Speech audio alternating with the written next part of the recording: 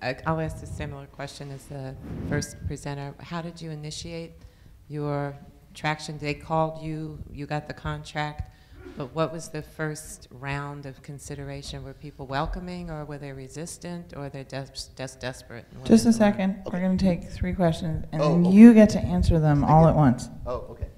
My question was, um, you talked, it- you talked a little bit about including those that are impacted by the decisions in these conversations, and I just wanted to know, have you seen any traction on that?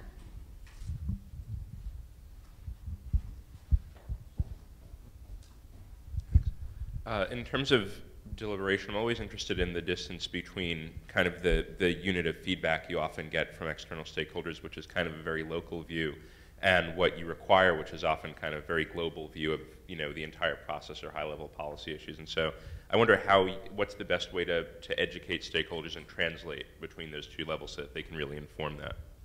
Okay.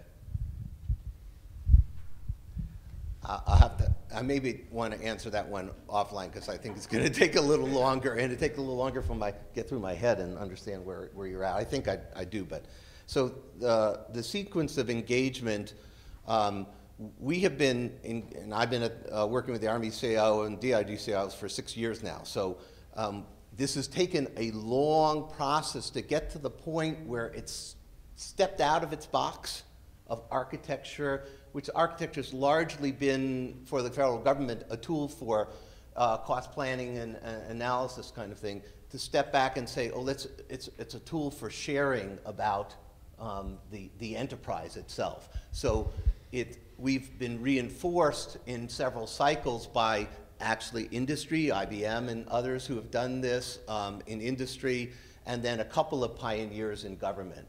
And one's sitting right there. So um, I worked at, at GSA and, and similar uh, kinds of engagements.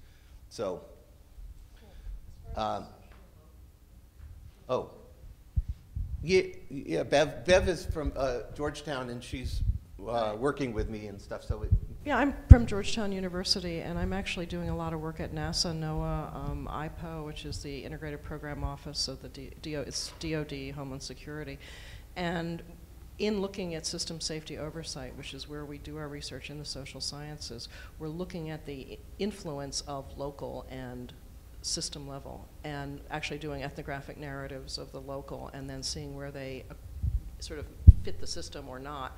Hubble's an example where it worked. Um, the Sago mining disaster is an example where it really failed miserably. So there is a role for that kind of integration in the system.